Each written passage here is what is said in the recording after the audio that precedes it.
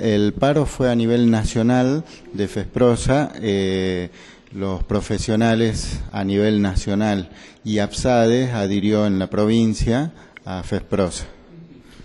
El- ¿Cuáles son las, los- el paro, la, la modalidad cuál es? La modalidad es paro sin asistencia al lugar de trabajo, paro de 24 horas. ¿Cómo ha sido el acatamiento en Tartagal? Bueno, eh, así a, a primera impresión eh, da la sensación de que hubo bastante acatamiento, eh, se ven muy poquitos profesionales dentro del hospital, pero bueno, ya eso eh, ya lo vamos a tener que corroborar mañana con personal a ver eh, realmente cuántos profesionales han asistido al hospital el día de la fecha, ¿no? El, doctor Trigal siempre manifestaba que en este hospital se daba una característica que quizás en muchos también, es la de eh, fi- eh, no, fir- fir- no, no se adhieren al paro, pero tampoco vienen a atender.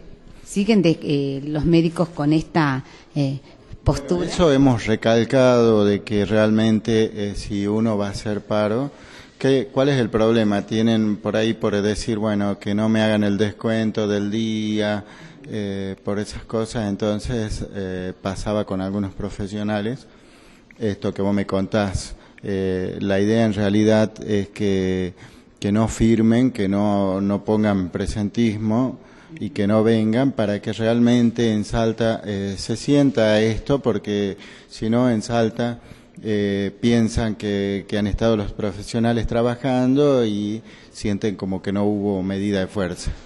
¿Cómo están ustedes dentro del ámbito profesional luego de realizar las asambleas? ¿Van a continuar con esa medida más allá del paro de hoy?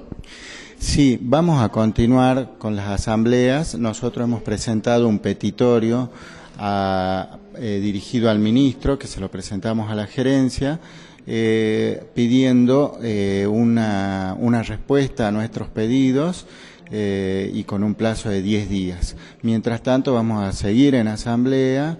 Eh, bueno, vamos a comenzar a hacer eh, unos panfletos que vamos a entregar a la población para que la población también entienda un poco cuál es la situación que vivimos los profesionales acá. Realmente eh, es importante que, que la población entienda que nosotros trabajamos con mucha falta de insumos, con, con falta de instrumental, eh, siendo muy pocos para toda la población que hay. Eh, entonces, todo ese esfuerzo eh, nosotros queremos que la población lo comience a entender, ¿sí? Para que puedan entender un poco de qué se trata nuestro pedido. ¿Cómo es el acatamiento en el resto del departamento San Martín? ¿Tienen alguna información? No, la verdad que no. Este, me imagino que en Orán eh, el acatamiento tiene que haber sido bastante alto porque ellos ya vienen haciendo la lucha con mucha más fuerza que nosotros.